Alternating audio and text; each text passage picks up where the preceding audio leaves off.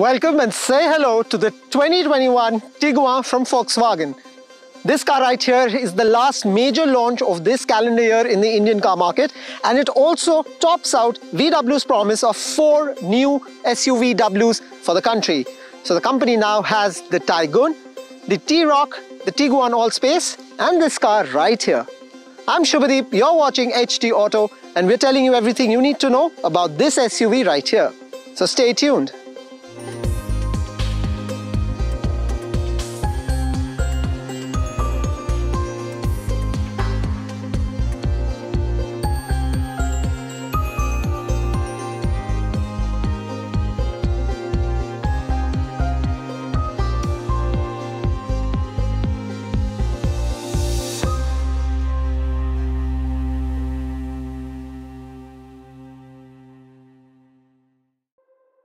2021 Tiguan is a five-seater that will be locally assembled at the company's Aurangabad plant.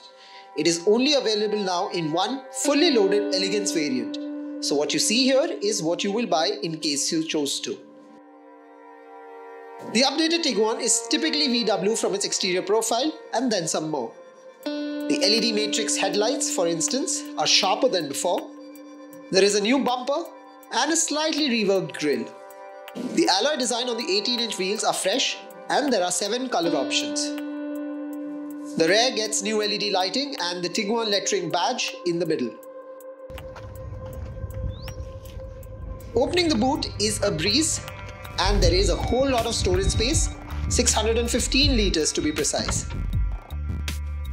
Step in and while the new dashboard layout is near similar, there's a new steering wheel which is also seen in the Taigun complete with the new brand logo. The 8-inch main screen is great and then there is a 10-inch driver display as well. The main infotainment unit is wide, vivid, colorful, but attracts fingerprints. The fit and finish of this screen is also not absolutely perfect. There's support for Android Auto and Apple CarPlay, connected car tech, and 3-zone climate control.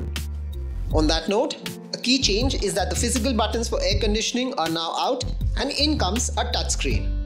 The front two seats get heating functionality, which is a blessing in the freezing Delhi winters. The driver's seat can be adjusted electronically and has three memory functions. Unfortunately though, the passenger at the front will have to adjust the seat manually. The leg space for passengers at the rear is decent. There is ample headroom and shoulder room for three passengers shouldn't be a problem either.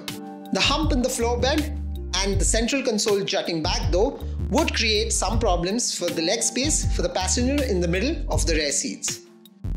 The cabin otherwise is well equipped with ambient lighting, panoramic sunroof and is large and airy for what could be comfortable highway rides.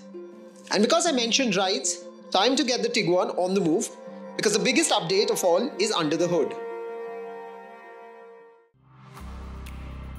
The new Tiguan ditches its diesel motor and in comes a 2-litre 4-cylinder petrol motor that produces 190 horsepower and 320 newton meters of torque.